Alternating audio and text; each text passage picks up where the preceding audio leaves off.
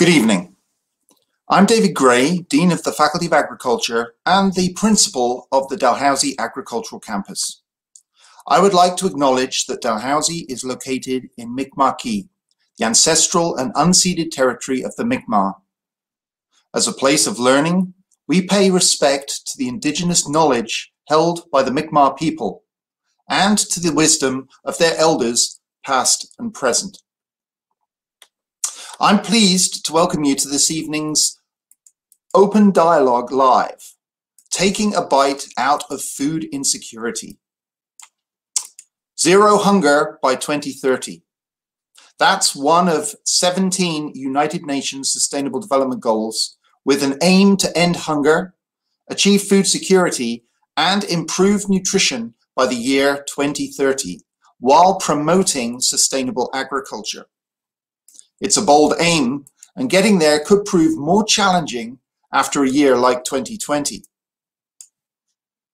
In the year 2020, 2.37 billion people were without food or unable to eat a healthy, balanced diet on a regular basis. According to the State of Food and Agriculture 2021, COVID-19 pandemic restrictions harmed not only agri-food trade, agri-food supply chains, and agri-food markets, but also people's lives, livelihoods, and nutrition. Tonight's episode, we, we will explore the importance of sustainable and healthy food production systems, the complexity of our food and agricultural industry, and the socio-economic considerations that contribute to food insecurity and inequity. So it's my pleasure to introduce our panelists this evening. We have uh, Ashley MacDonald, um, and Ashley is in her third year of her PhD in Agricultural Sciences program here at Dalhousie's Faculty of Agriculture. Her research area is agricultural business with a particular interest in sustainability and data-driven decision-making. We also have with us Dr. Paul Manning. Paul is an assistant professor in the Faculty of Agriculture at Dalhousie University. His research aims to better understand the importance of biodiversity specifically insects, to the health and functioning of agricultural ecosystems. Dr. Peter Tyedmers is a professor in the School of Resource and Environmental Studies at Dalhousie University. His research explores understanding and improving the biophysical sustainability of food production systems, seafood production systems in particular. And last but certainly not least, Dr. Gianfranco Mazzanti. And Gianfranco is an associate professor with Dalhousie's Faculty of Engineering. Gianfranco's research centers around crystallization of lipids used in industrial food and cosmetic processing. Welcome to all of you, and thank you so much for joining us this evening. So to begin our conversation, um, I'm going to ask a few questions and each of you will be able to weigh in. So the first question I'm going to ask is that there are many factors contributing to today's food security crisis. For example, how is climate change having an impact? Who'd like to have a go first? Perhaps Paul? Yeah, for sure. Uh, thanks, thanks, Dr. Gray, and uh, sorry, I just had to pop out for a minute. I had a little bit of a freeze. Um, so I, I, just heard the second part of that question. Dr. Gray, would you mind repeating it again, please? Of course, Paul. So there are many factors contributing to today's food security crisis. For example, how is climate change having an impact? Perfect. Thanks so much. So I'm happy to tackle this from the perspective of an entomologist. And uh, what it's um, really what it comes down to for insects is that they are really closely tied to temperature. So, for instance, temperature can limit the population of insects. A cold winter can uh, knock back numbers a lot for the next season. So, in that way, uh, having warmer winters can mean more pest insects for the future years, which is tied in really closely to the sufficient amount of food that we need and also a consistent and reliable source of food. So that's um, one of the ways that climate change uh, can intersect with, with that particular part.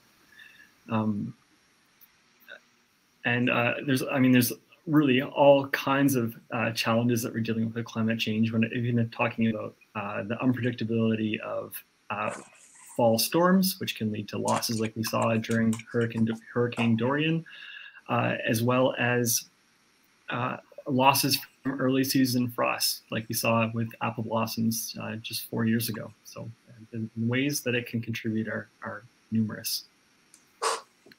Thanks, Paul. Um, Peter, what about you? Excellent. I just wanted to make sure that I'm not muted, and I don't think I am. Um, it's it's a really important question that we're framing right now in terms of what are sources of food insecurity and how does climate change relate. As Paul was just outlining, climate change is a phenomenon that is going to affect not only the capacity to produce food in certain settings, and Paul was describing some. Over the past year, there's been um, in the news a, a, drought in Madagascar, uh, and that has many people are are seeing that drought um, as a very clear um, result of changing climate and having a direct result on local food availability in that context. But we have to also keep in mind that most of the current food insecurity on the planet is not a function of limited um, food production. It's a function of insecurity that results from conflict, and it's a function of economic uh, impoverishment. And climate change will contribute to both of those phenomena. It's not just going to affect us on the production side, and that's going to be much more regionalized or localized, but it will inevitably also contribute to the impoverishment of uh, many populations around the globe, or the continued struggle to come out of poverty, but also um, result in instability in certain parts of the world. Mm-hmm. Thank you, Peter. Um, anyone else like to come in? Gianfranco? Yeah, I always keep thinking of um, when I grew up in Colombia. It seemed that we were always either in a drought or drowning in a flood. And um, there was a constant um, insecurity um, due to these conditions. Uh, not that the food was missing for at least those of us who were fortunate enough to go and buy them in the supermarket or in the in the big square market. Um, but a lot of people depended on on crops or their work, and uh, and you, I think of history also, and seems to be the same in many places, not only the floods of the Nile, but the floods in China and in other places. And humanity has been to has had to cope with this sort of phenomena. And uh, now we face these kind of the extreme changes that Peter was mentioning. And, uh, and it seems that it's only those who have the means to develop certain technological advantages that can sustain, maintain their food supplies, uh, whereas the rest of a big base population uh, can't. We will develop the technologies as best we can to survive whatever comes. Uh, the question is whether we are going to do that and also provide for all of those who are unfortunate when I came to Canada, I thought, oh, how fortunate I am now. I live in a society where usually like, you don't kill people in front of me and um, I can find food and there's not a lot of children begging for money in the streets and stuff like that. Over the years, I've realized that no, this is not fortunate, this is normal. What's happening in the other side of the world is what is abnormal, or you can call it unfortunate, although it has very little to do with fortune. And uh, I think we need to develop, I don't know, consciousness, an awareness, um, an empathy. We have the resources, technological um, and uh, human, basically, to solve a lot of the problems. I'm sure. I just want to echo what Peter said.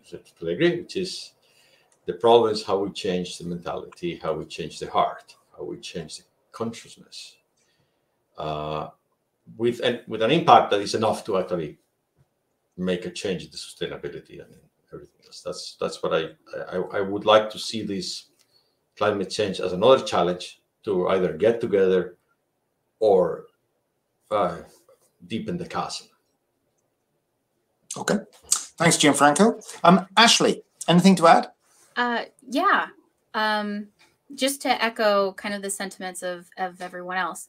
Um, I think when we're talking about food security and sort of the effects of climate change and our kind of our overall goal of, of improving food production so that we can feed our growing population, one of the bits that we kind of failed to discuss or failed to consider in this in the same vein that um, the others have been speaking of is we are already making enough.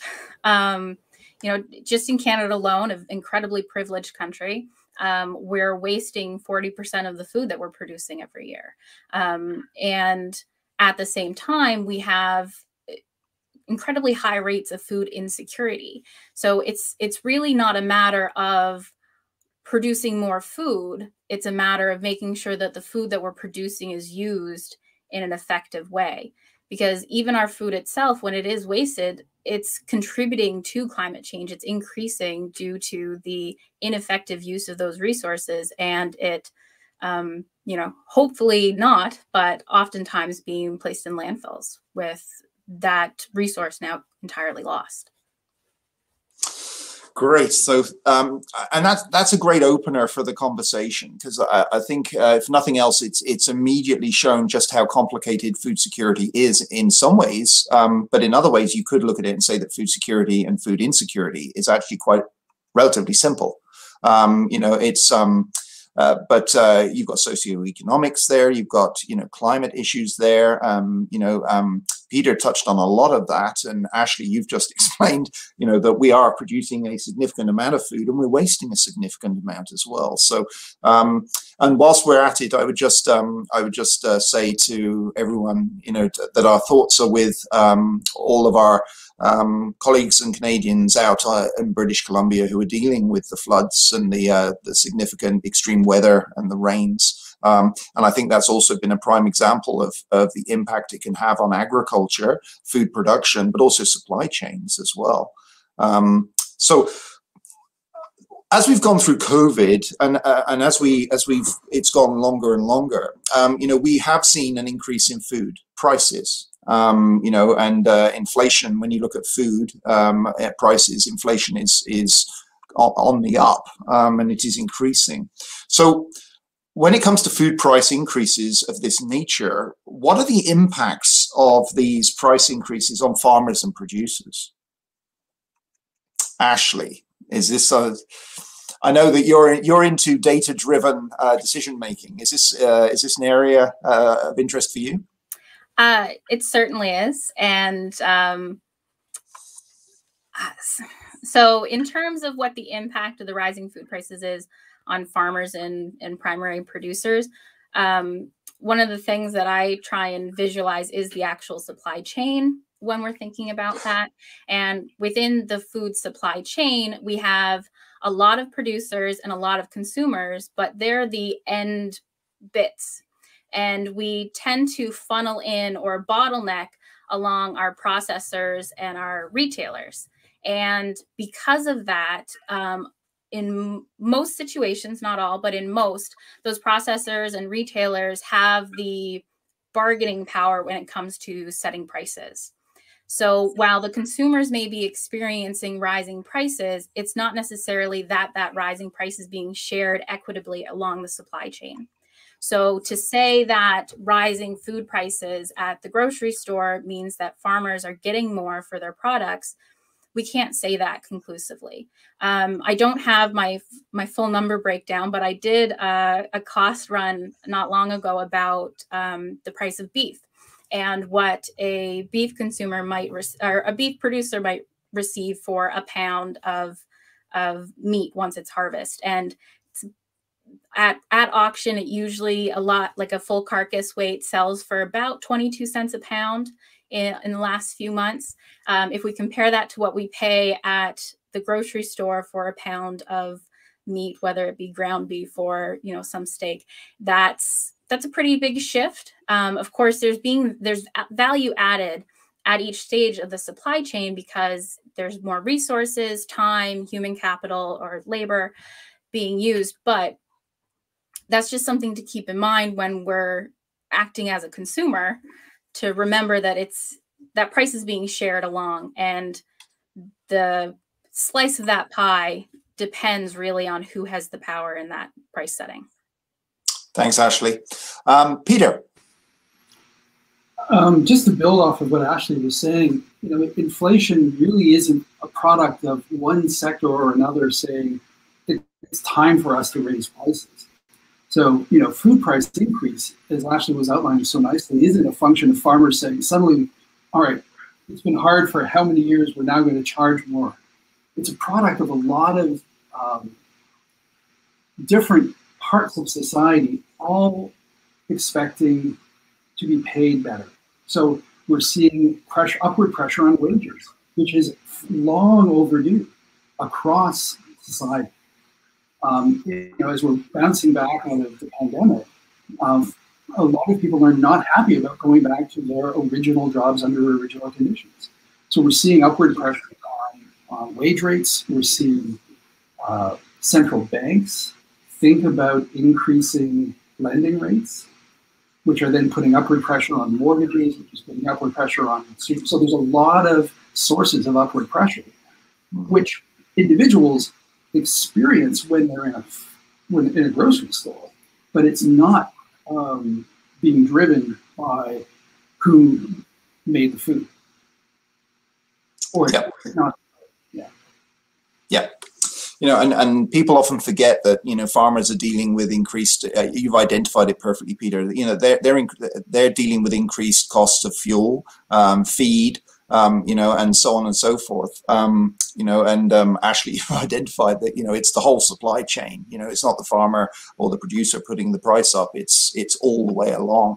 Um, and, and COVID, of course, has um, brought with it some significant transport issues, um, you know, and therefore transport costs have gone up as well.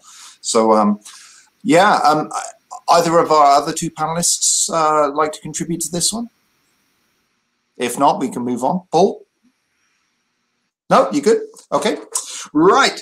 So, um, this is a, a follow-on from that really. So um, and this goes back to what peter was saying earlier about you know food in food security and really what's driving food security globally. So is there a clear connection between higher food prices and the rise of poverty? So perhaps peter can start that one. In some ways it's a it's a chicken and egg. Um, i think a rise of poverty doesn't necessarily drive higher food prices but it certainly exacerbates food insecurity um, you know, unlike you know food insecurity discussions of the 1970s of, of an earlier generation where it really was much more a supply side set of challenges. As we've already talked about, it is for most people around the world, with some exceptions, thinking about Madagascar and some other locations, um, and most of our food insecurity in Canada, this is entirely a function of poverty or relative poverty. And higher food prices, along with higher fuel costs, along with higher clothing costs um, across the board, because inflation doesn't select one sector to affect. It, is, it, it affects across the board, David, as we were saying earlier, right? I mean, fuel price increases not only affect farmers, but they affect everybody else. Yep. So all of that is, and if you don't have if you have a fixed wage or if you've lost your job or your wage increase is not keeping up with inflation, then you are going to find it harder to um, secure adequate nutrition. So yeah, rising food prices along with rising all prices is are make, is going to make food insecure people more insecure. Thanks, Peter.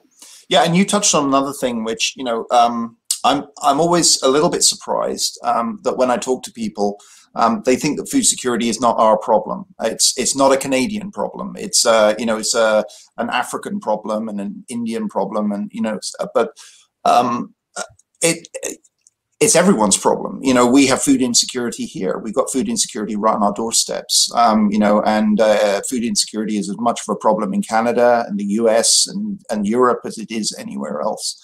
Um, and I think people need to remember that as well. So when we talk about food security issues, we're talking about here as well as elsewhere as well. Ashley, what about you? Yeah. Um, you know, as you said, food insecurity is, is just as a, a maybe not as severe, but it is still incredibly prevalent here. Um, of the 10 provinces, Nova Scotia has the highest rate of food insecurity. And a lot of that is within our already disenfranchised or vulnerable populations, particularly school age children, um, which we saw it increase significantly during the COVID shutdowns because a lot of those kids relied pretty heavily on their school lunch programs.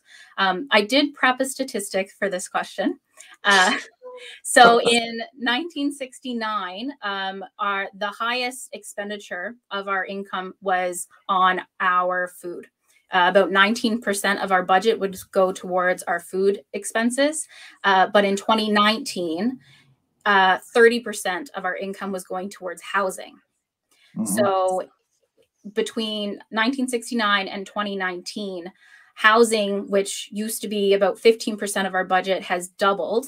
And our the expenditure actually decreased. So we're actually spending less proportionally um, where it's about 15% in 2019. So while it seems like food prices are on the rise, they truly are, but it's not at the same rate that everything else is. And, and as Peter said, largely that's due to the wage rates not increasing along with everything else. If, David, if I could just. Um, yes, please. So I'm really enjoying uh, the opportunities that we'll go back and forth with Ashley on this. But um, it's wonderful you pulled that those data because these uh, they are a continuation of a multi-generational trajectory. Our grandparents on average had to expend a far far greater proportion of their daily labors to secure nutrition than our parents generation did or than we did. So we live in this paradoxical space where proportionate to our total um, average incomes in society food has never been cheaper relative to everything else we spend money on. But at the same time, we have persistent uh, nutritional insecurity issues, um, maybe at a declining scale across our society, but it's still there. And it's important, and we haven't been able to address that. So, you know, achieving the sustainable, the SDG goal by, you know, um, no food insecurity anywhere by 2030 we first have to tackle that in a place like Nova Scotia, or not first or second, but we it has to occur here as well as across those larger swaths of the global human family that are more profoundly and acutely food insecure. Yeah. So um, uh, one more one more question, um, and this this is the big one, um, I suppose, right now, um, and this is the one I think we're all grasping uh, grasping at right now as well. Um, and then we'll um, and then we'll look um, at questions from those people who are online who've joined us this evening. but uh, how are we going to? So it, so 2050, the projections of our population in 2050 are well over 9 billion people. Um, you know, and, so, and, some projections are suggesting 10 billion people. Um, you know, um, we're hearing um, hearing statements like, you know, we have to double our food production in the next 30 years to meet that requirement. Ashley's already said that it's not as easy as that. You know, we, we are wasting a significant amount of food. But the big question is, how are we going to feed that population of nearly 10 billion people in 30 years' time? Who wants to kick that one off? Anybody?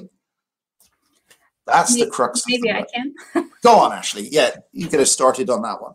Uh, so when I was working on my food waste research, um, I came across a report that said if if we were able to redistribute 25% of the global food that is wasted, we would be able to feed 9 billion people without any problem.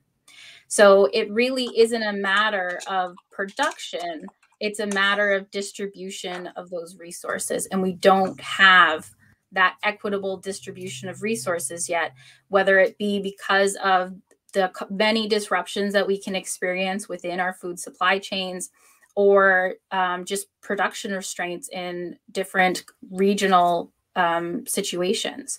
So, you know that that question of oh we have to boost production we have to produce production in some areas but we have to be smarter about production in a lot of other areas so it definitely is this sort of nuanced multi-layer question that has to be looked at from a, that macro lens as like a you know a global initiative that everyone's working towards mm-hmm. but in a regional micro action based approach i think.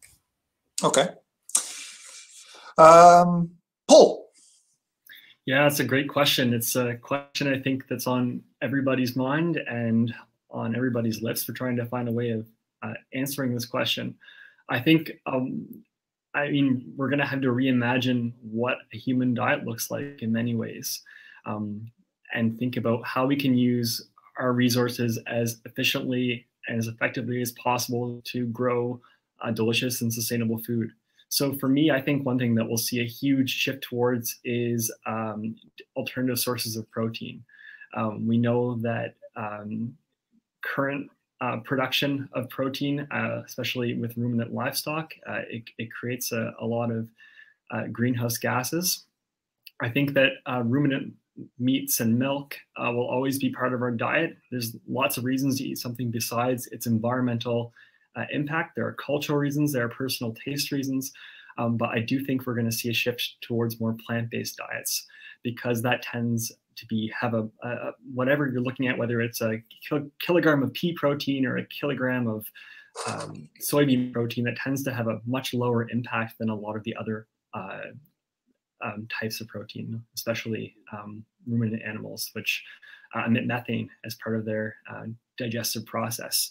Um, one thing that I'm really interested in from a perspective of an, an entomologist is looking at how we can use insects to close some of these loops with, with nutrients and resources.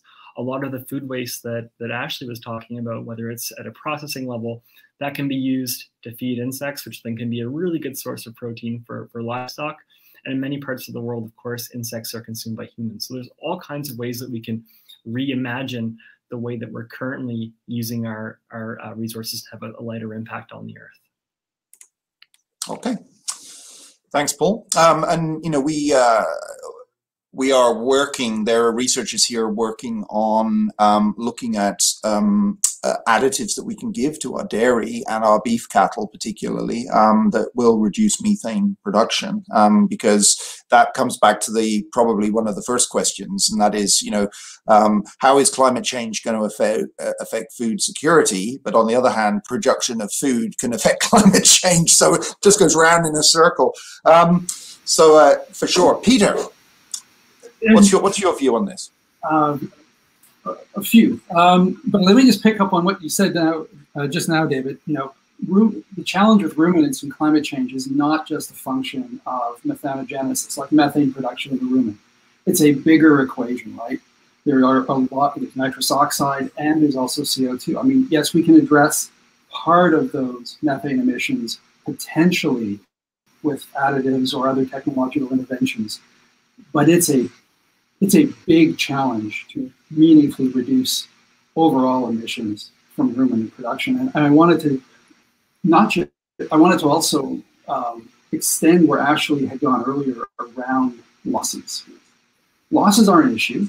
They're hard to squeeze, and they will also, in reducing them in some instances, also contribute to some of our challenges. So solutions are, are not always impact free. So collecting up on a broad basis, let people's leftover food also has um, impact challenges. But there's one area that we haven't touched on yet, and that's um, the surprising overconsumption of some of the most impactful parts of our diet that, um, so protein. On average, North Americans, Western Europeans, Australians overconsume proteins, not, um, not everybody, but on average by about 30%. And we don't store excess protein. We metabolize it, store a bit of the result is fat, and we excrete the excess. Now, so right away, even before we're talking about pointing fingers at retailers or processors to address losses, we should be thinking about what we're putting on our plate, not just in, in terms of what Paul raised, the, the choice of protein. So absolutely, there's tremendous gains to be had in terms of substitution of protein sources, but just right size our protein on the plate could immediately, if we did it across the board routinely, that's a 30% reduction in protein demand in a place like North America. So that reduces the greenhouse gas emissions, it reduces all that, and it actually allows us to back off some of the, those systems that would have a downward price effect overall. Boy, you've got me thinking now, Peter. Um, so uh, over to uh, um, Gianfranco. Gianfranco? Thank you. Um, I read, a friend of mine gave me a, an article published in October uh, in The Economist that addressed these new technologies that are trying to make food that is less harmful from the point of view of the environment, but also that doesn't involve cruelty to animals, and uh, some of these uh, possibilities of obtaining proteins, for example, from insects or, or from other vegetable sources, just peas or or um, soybeans, and, um, and and I like the way it structured the argument because when I teach food engineering or food science, I, the point of that I start is well, a piece of food is essentially a combination of four major ingredients, which is proteins, lipids, and carbohydrates. And those carbohydrates are usually fiber or sugars. And uh, the proteins, also one important part of those proteins, although it's a small part, is the enzymes, because they are not just proteins to build things, they are the proteins that make all kinds of other things. And then you have water which is another very important part of it and how they interact. And there's all these all these smaller things, vitamins, minerals, etc. So in theory, one could take apart the pieces from the vegetables, let's say, from, from a vegetable origin or a green origin, and then reassemble them to make a patty of beef, which is what these new companies are doing. Uh, and is well, let's basically mechanically remake a cow um, patty hmm? instead of having to have this this beautiful Holstein sacrificed. Uh, well, Holsteins are not sacrificed; they are milked. But let's not milk the Holstein. Let's make milk from the grass, so to speak. Now, all the lipids are essentially produced either by the microalgae in the ocean or by the plants on land. And then the microalgae get eaten by the krill, and those get eaten by the menhaden, and those get eaten by everybody else, and then the fishes end up bringing us those very nice omega-3 oils, or the plants make it the palm oil or the uh, olive oil or whatever you like it, and we just rearrange those lipids into triglycerides that we need, but we don't make those those lipids. We don't photosynthesize unless eventually, like now, maybe a Tesla car will come with an electric roof. We'll have a green patch here when, when we go out and photosynthesize. I don't know if that day will come. But there is another side of all this, which is uh, the microbiology. And um, we've been preserving food through fermentation since forever, or, or transforming it. And now yeast is also playing a role in this possibility of creating new foods in a sustainable way, even though most of it is genetically modified. And I know a lot of people will frown on that, but it's been safely done for such a long time that the, the risks seem to be small. But that all that consideration is just to realize that we can produce the sources in much less conventional ways as before, but they're still those same sources that we need: the proteins, the lipids, the carbohydrates and the things that we put in. Now, all those things were produced from the land or the sea before. And over the, I don't know, a million years that human beings have been on the planet, and especially in the recent, I don't know, 10,000 or whatever, we've obtained those things from the soil or we've harvested from the sea. And um, that changed dramatically a few times. For example, when we had mechanization in agriculture, when we have chemical developments that allow us to produce chemical fertilizers instead of buying guano from Chile, when thermodynamics allowed us to have refrigeration chains, and all of a sudden we could transport these enormous quantities of food from one place to another without the food going bad. And um, all these technological developments were still using the food produced by the land.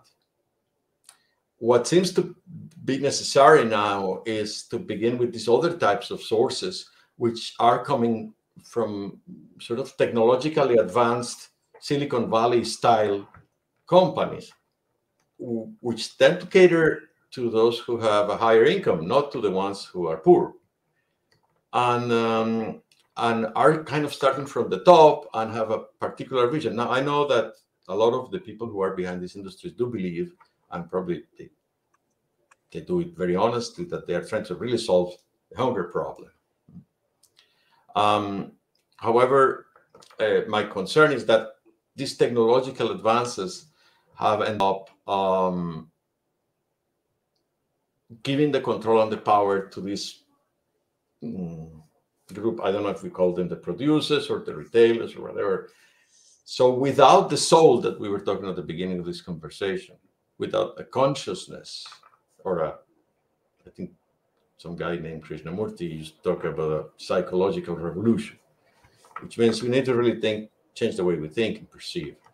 All of this will just put us back into another iteration of these advances and these developments and these jumps ahead with still the same poverty, the same conflicts, the same wars.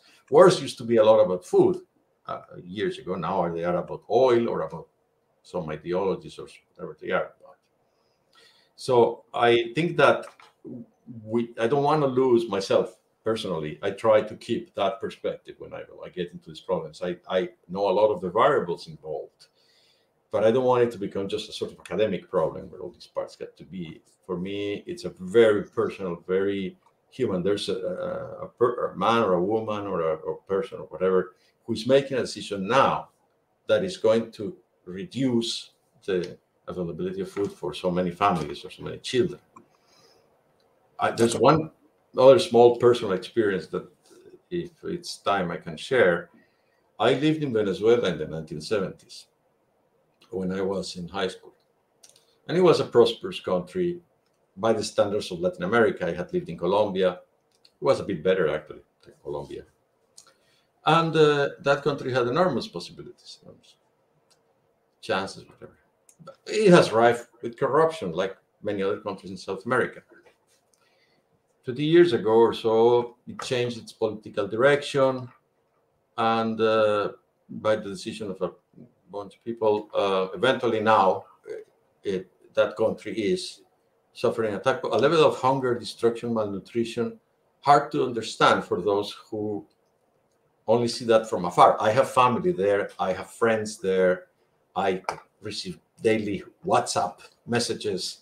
Uh, it's not in the news where I get my sources, and uh, it's it's unbelievable. How can in 20 years place go from a normal average of its region to the worst in the world almost? I mean, it will compete with Haiti probably. So um, when I try to understand this, I cannot see another possibility other than this lack of consciousness in use of the resources available. Uh, many of the other countries in South America, you know, they still kind of going at the same level if we want. Uh, they have the same, much less resources than, let's say, Venezuela and larger populations. So why can't that happen? Uh, in terms of food security specifically we don't look at the health or other issues but specifically food security when people have to go and and and try to I mean, garbage doesn't go anywhere until it's completely devoid of any possible nutritional content, regardless of the state in which it is. Mm-hmm. Mm-hmm. So, how can we let that happen to other people like us, like you guys or me? Where is the state of mind that allows us to not see that or not do something about it at the levels of the people, every one of us at the level that we can do it? Yep. Thanks, Gianfranco. Um, yeah, so and that's that's a really big question. Um, so uh, we've got a lot of interest online, um, and there are questions coming in. Um, and so what I would like to do is turn um, turn to our audience um, and some of the questions that they've done. Um, and the first one, which I know is going to be close to uh, a lot of your hearts, and you'll have views on, is is uh, from Letitia, and it says, I question that we are producing enough as many current production methods are not sustainable and contribute to climate change. Where do the panelists sit on sustainable versus regenerative agriculture? Right, who'd like to start us off on that one? Peter? I was going to say Paul. Okay, all right. Well, we'll go to Paul first. Paul.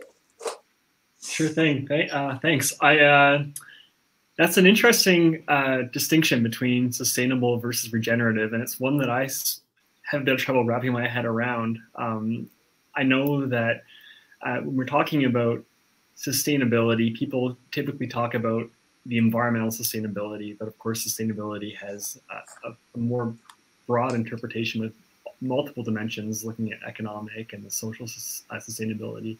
Um, but we're talking about regenerative agriculture. I sort of the way that I think about it is um, when we when we have uh, let's imagine a field and we're going to be harvesting some sort of food from that field um, as, a, as a product. Um, but ultimately, we're looking to um, improve the actual uh, uh, improve the health of that land whether that's restoring soil, whether that's conserving diversity, whether that's um, allowing leaving it in a, in a, in a, in a better spot.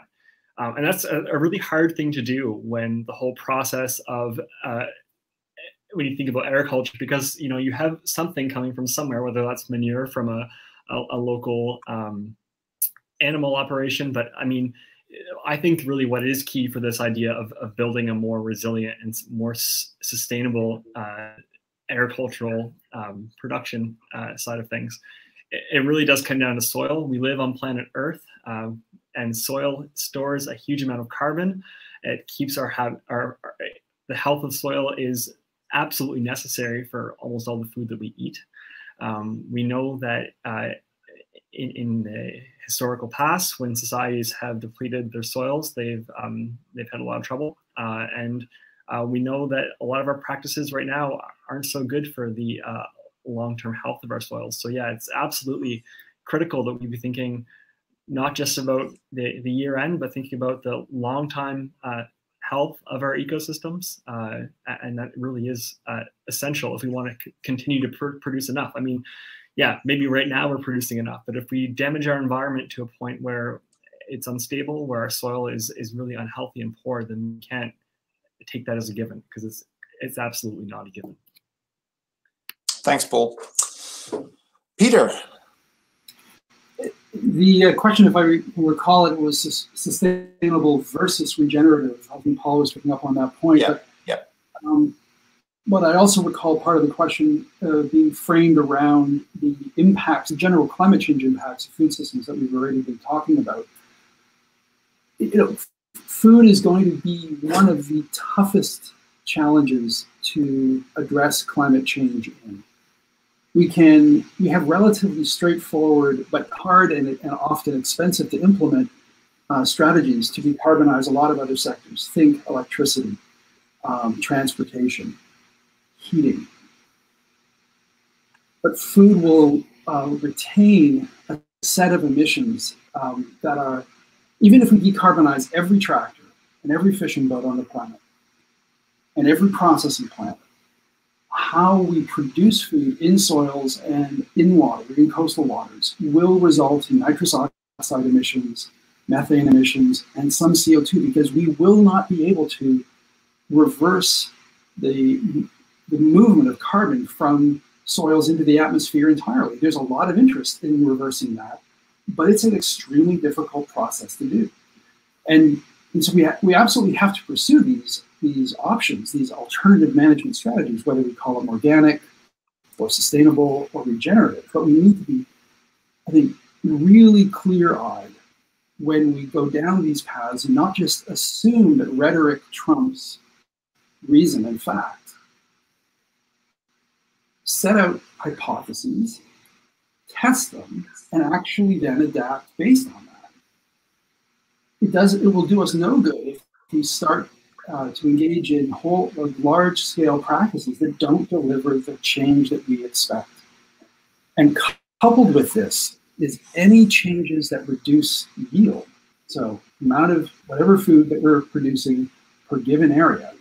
If that yield is going to be sacrificed, we either have to have a commensurate willingness to reduce demand collectively, or we are going to drive the frontiers of the food system further out and one of the biggest sources of greenhouse gas emissions across all food right now is at the frontier because every hectare of Southeast Asian forest that is converted into palm oil or Brazilian forest or grassland, residual grassland that is converted into cattle and soy is dumping massive quantities of carbon into the atmosphere. So we cannot allow the frontier to accelerate and we need to change practices. So, how do we do that? We have to get smart, we have to assess, and we need to sacrifice some consumption where it is possible, back to the 30% of overeaten protein, to allow us to have lower yields if they're necessary. Right. Yeah. Um, we haven't got that much late, longer. Um, time flies when you're having fun, and had, this is a great discussion. Um, so I'm going to move on to um, our next question um, from um, Colette. Um, and Colette says, and this, I, I, think a lot of people are going to be interested in the answer to this question because I think, you know, everyone, when we go into the uh, supermarket, we're asking ourselves this kind of question. And if we're not, we should be. And that is, as an average consumer in Nova Scotia, are there specific actions I could take to help address food insecurity, and locally or globally. So, what can local consumers in Nova Scotia do? Um, you know, and I suppose we're talking about behavior, you know, and um, you know, sort of uh, purchasing um, that can help um, address food insecurity locally and globally. Who would like to start with that one? Raise Peter. wage. Sorry. Lobby to raise the minimum wage. Minimum wage. Okay. Ashley's nodding. Living Paul? wage over yep. minimum wage. Living wage over minimum wage. Okay. Yep. Um, Paul, you put your hand up.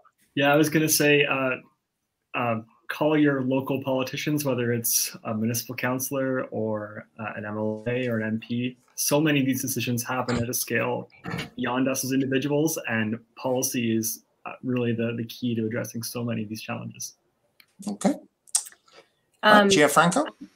Oh, Ashley. Yep. Oh, Ashley, I was, go ahead. I was just going to add um, the, you know, as an individual, like donating to food banks and those sorts of things are good short term, you know, feel good things to do, but it doesn't help um, in the long term of removing the the barriers and the situations that put people into the the situation that they're going to have to access those food banks. Um, ideally, a food bank strategic plan should be to be going out of business um, and closing their doors in five years so that they don't ever have to write another strategic plan.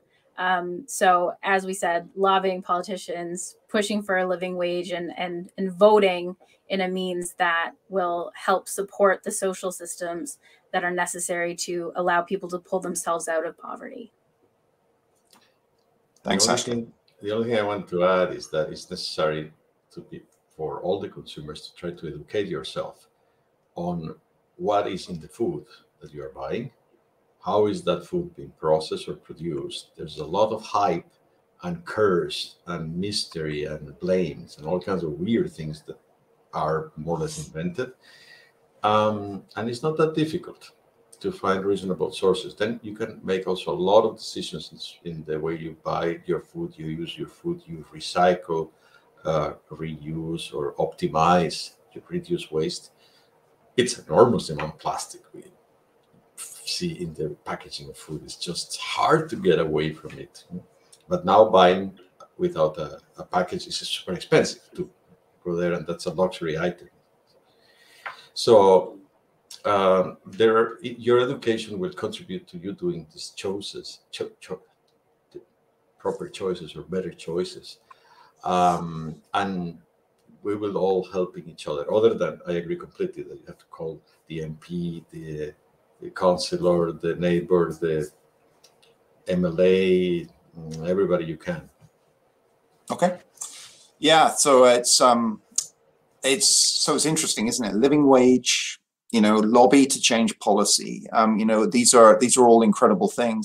Um, one thing I would throw in, um, and it's an interesting educational exercise, is you know, for consumers in Nova Scotia or anywhere, is you know, set yourself a goal for one week um, to um, you know measure you know your shopping, you know that you're bringing into the house um, in relation to food, um, and then at the same time during that week measure the amount of food waste. So weigh it um, and then work out what percentage of your food that you're bringing into the house is actually being wasted. Um, I, I've done it on a number of occasions with my daughters as kind of school projects and university projects. Um, and after each one, we tighten things up and, you know, but, but it's still significant. You know, even when you're trying to do a lot to reduce that food waste, it's significant. So one thing I would say to everybody who's on is, you know, set yourself a goal and, and spend a week, work out how much you're bringing in, and then, uh, you know, measure how much waste, food waste is going out as well. Um, and it will back up, it will absolutely back up what Ashley was saying earlier on about, you know, a significant chunk, 40%. Right, so we've got time for one more question. Okay, um, and so we are going to loaded ladle. Um, and so this one is food insecurity is a global issue and related to everyone. And I don't think anyone would disagree with that. Uh, what are the panelists' opinions on the influence of globalization of food systems to the food insecurity issue? Peter's got his hand up straight away. Go on, Peter. It may not be popular to hear, but to the extent that trade is a central aspect of globalization, it has been essential to the systematic uh, multi-decadal decline in food insecurity globally. Up until just a couple years ago, we had collectively on the planet, that's why we set that 2030 target for zero food insecurity. We had been on a trajectory to potentially get there we have been systematically, as a global human community, been driving down food insecurity for many decades. That is a product, in part, of globalization. Nova Scotia, the million of us uh, in this terrain, could not survive on the calories and nutrients of this terrain by itself. We are dependent on trade with others. And many other parts of the world are as well. So I don't think it's so around globalization. I think it has been essential to addressing the challenge that, as we have at least historically, at least in terms of the trade that it has helped facilitate. Great points, Peter. Um, any other views? I'm looking to see if anyone else has anything they wish to add. Gianfranco? Yeah, I, I agree with Peter completely. Uh, as well, uh, we can still cultivate our locavore uh, vocation of eat local um, to the extent that is possible, um, so that uh, a number of other factors that come with the globalization sometimes, which is excessive transportation, things like that, can be reduced. Uh, so there is a certain counterbalance to that, but without the globalization, it would be probably impossible to really end this uh, food insecurity.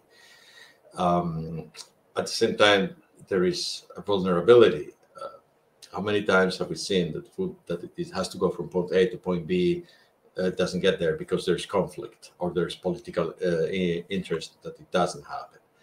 Um, in all kinds of situations, situations uh, like emergency relief that a certain country doesn't accept, or things like that, right? Uh, or, or larger scale. No, we are not going to allow you to send all that amount of grain over there. Um, so the globalization can sometimes also uh, kind of how do we explain this? You have a reservoir, and then one side is blocked. Maybe through another side it can be fed. So it, it provides that sort of safety network? But it means that there is something out there that can be attacked. So it's, yep. Not, it's a very complex issue. yeah. So um, I think we're at time. Um, you know, it's uh, that's uh, the hour has flown by. Um, you know, and I know that we uh, we could talk about this for another hour. Um, you know, and uh, and still keep going. Um, so I would like to say thank you to our panel members this evening. Um, Ashley MacDonald, thank you, Ashley. Uh, Dr. Peter Tyedmers, thank you, Peter. Uh, Dr. Paul Manning, uh, thank you to you, Paul, and to uh, Dr. Gianfranco Mazzanti. Thank you, Gianfranco, um, for uh, your insights and uh, what has been an absolutely fantastic discussion this evening. Um, I've certainly learned a lot, and uh, hopefully those uh, people who've joined us online this evening have learned something too, um, and hopefully a little bit more of an inspiration as well. Um, you know, and we'll go away and we'll collectively all do our own little bit to try and help uh, the food security, food insecurity issues and challenges that we're facing locally um, and globally. So thanks to all the viewers who've joined us this evening. Um, stay well and take care. Thank you very much. Good evening, Thanks everyone. a lot. It was a pleasure. Thank you, David. I learned a lot. Thank you. Thank you, David. Thank you. Bye-bye.